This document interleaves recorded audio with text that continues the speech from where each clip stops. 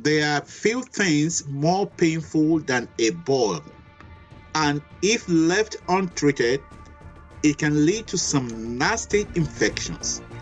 In this video, I'm going to show you how to lance a boil safely and quickly using household items.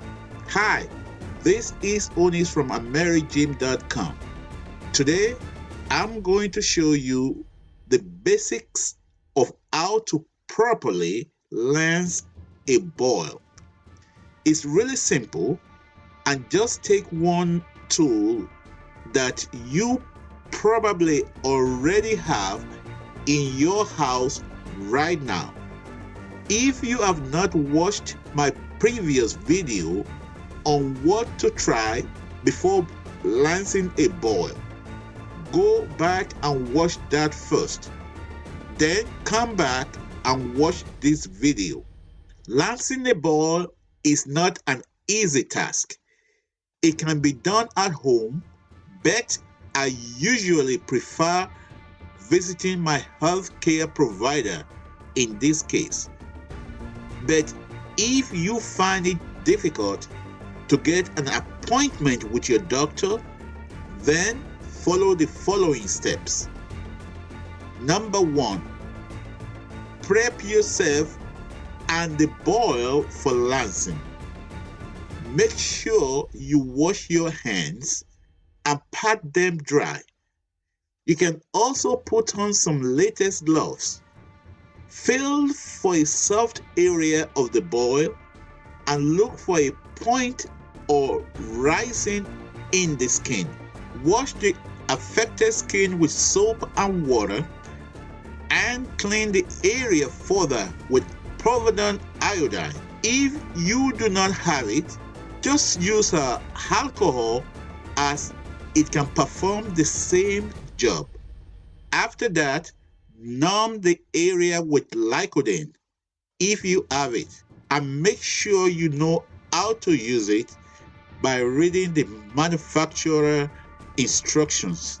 Alternatively, you can use an ice pack to numb by just applying it on the site for a few minutes.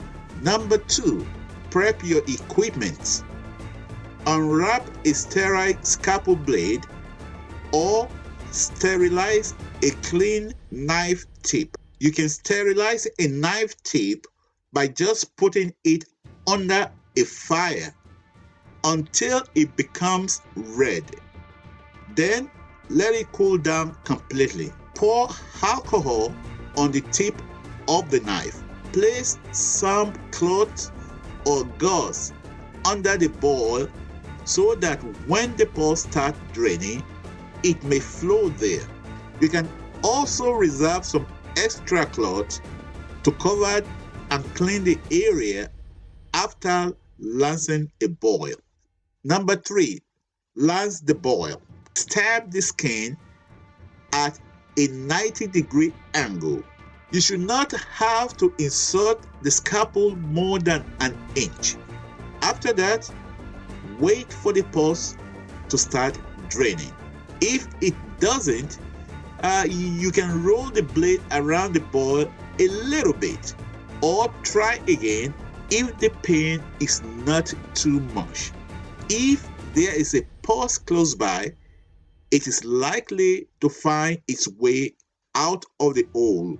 As soon as the pulse flows, you may want to slant the blade a little to open up the wound. Then remove the knife, let the wound drain out. Catch the pulse with cloth or gauze. After the draining subsides, be sure to wipe the wound and throw away any contaminated clothes and gloves. This is because the bacteria from abscesses can be contagious. Number four, then watch and wait. After the boil finishes draining, use mupirocin ointment if you have it and keep using the heat. If the wound closes before the infection heals, you may need to reopen it.